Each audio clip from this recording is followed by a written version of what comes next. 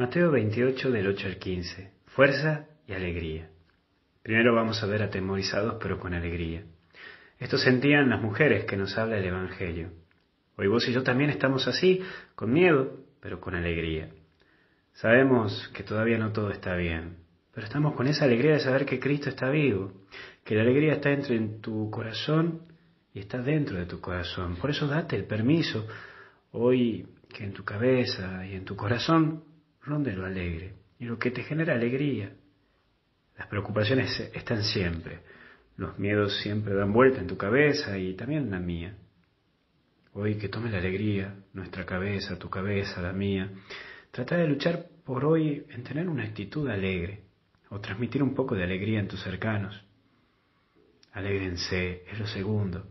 Pascua es eso, paso de la muerte a la vida.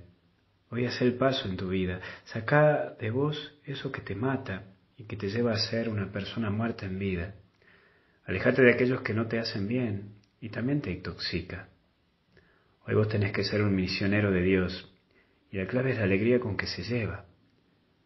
Debo reconocer que esto nos falta. Hay veces que los misioneros cristianos parece que comemos limón muy seguido por la cara de amargados que llevamos. Hoy llévalo a Jesús y lo anunciamos desde esa actitud positiva y alegre. Y por último, el ocultar. Un pecado que puede habitar entre nosotros es la omisión, que es ocultar la verdad. Vos tenés mucho para hablar y recordar vivir siempre la verdad, no ocultes la verdad. Que tu vida no sea una mentira, porque solo te la complicas.